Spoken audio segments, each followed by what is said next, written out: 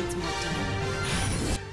Hey guys, it's Lindsay with XX Girls. So if you guys have been following our posts lately, you'll know that I've been playing a lot of Diablo 3. Or trying to on the off chance that Battle.net's up. Anyways, I love this game. It's been about 11 years since the last game came out, so this is a huge game for Blizzard with regards to the anticipation.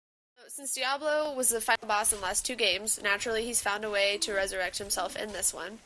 The World Stone was destroyed in Diablo 2, so the evils are out terrorizing everything again. So Diablo 3 pretty much follows you around while you kill all the evils and trap them in a black soul stone. Five lords of hell now reside within this stone. Adria, you must tell us the whole truth of this matter. You can choose from five different characters, and I went with a witch doctor. So, witch doctors are awesome. Not only their lore and the voodoo masks, but their abilities. You can summon demon dogs, toads, spiders, giant zombie things to fight for you, while dropping acid rain and zombies to take out take them out that much faster. While the graphics are about five years behind, the cinematics for this game are not. They're incredible. I would spend the $60 for this game for these cinematics. They're definitely worth watching.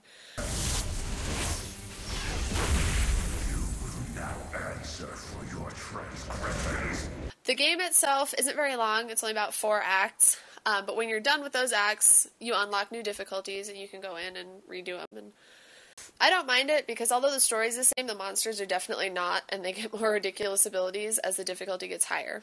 Why would you play the next difficulty? Because the level cap is 60, and you want to get there to get the insane gear that comes with um, the Inferno difficulty, which is the last one. We were meant for more than this.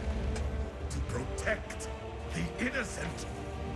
The gameplay is your standard click to move, hit four buttons the whole game. Um, every level you get new abilities or rune upgrades for your current ones, which I love because I don't like to do the same thing for too long. One of the things I really liked about this game was that you could have an NPC follower that would join you in your quests and help you fight. Not a big fan of playing public games, mostly because the lag is really terrible, and most of the people I've encountered haven't been much better. I was pretty partial to the Templar character, mostly because the things he yelled were running weren't horribly annoying, like the Enchantress and the um, Scoundrel.